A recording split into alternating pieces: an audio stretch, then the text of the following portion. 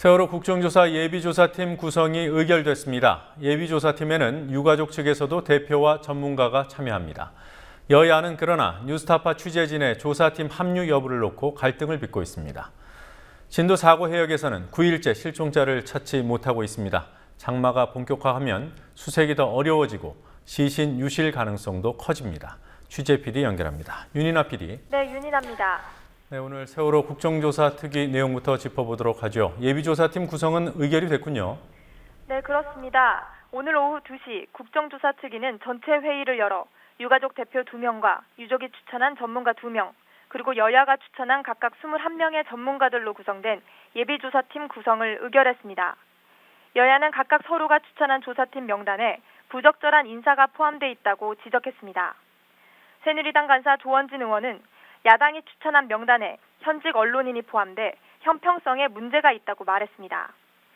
야당이 추천한 명단에 KBS 기자 출신인 김경래 뉴스타파 기자와 뉴스타파 개건 기자인 임유철 다큐멘터리 감독이 포함돼 있는 점을 지적한 겁니다. 새정치민주연합 간사 김현미 의원은 국정조사 대상 기관에 포함된 인물은 재척 사유가 된다고 말했습니다. 새누리당이 추천한 인물 중 국정조사 대상 기관에 포함돼 있는 김진한 해군 전 대장과 김우호 한국해양수산개발원 본부장 등의 교체를 요구한 겁니다. 이에 대해 여야는 양당 간사 간의 협의를 거쳐 재척 사유에 해당하는 인물을 교체하기로 했습니다. 특위는 국정조사 기간 보고 일정에 대해서도 여전히 이견을 보였습니다. 아, 유가족 측에서는 예비조사팀에 누굴 참여시킨다고 합니까?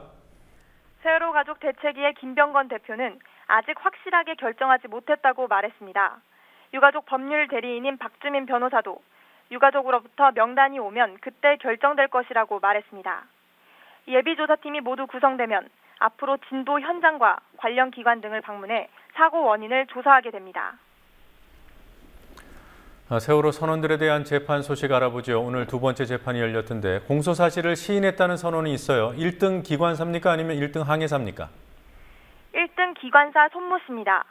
승무원 15명 중 순환구호법 위반 혐의로 기소된 1등 기관사 손모 씨의 변호인은 공소 사실을 모두 시인한다고 밝혔습니다. 승무원 가운데 처음으로 잘못을 인정한 겁니다.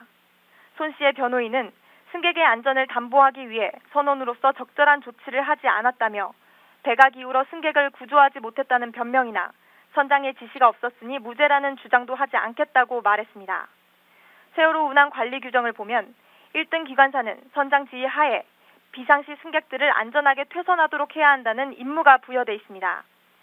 손 씨와 달리 선장 이 씨 등 나머지 승무원 11명은 혐의 내용을 대부분 부인했습니다. 오늘 재판은 유가족 80여 명이 참석한 가운데 진행됐고 실종자 학생의 어머니의 모두 발언으로 시작했습니다. 네, 실종자 찾았다는 소식이 벌써 9일째 들리지 않고 있습니다.